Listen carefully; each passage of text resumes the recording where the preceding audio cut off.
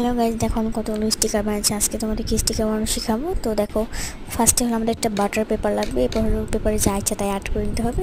কেসে দিয়ে কেটে এরপর হলো উপর দিয়ে কস্টেপ লাগিয়ে এরকম করে লাগিয়ে দিতে হবে। এরপর উঠালে নেবে স্টিকার রেডি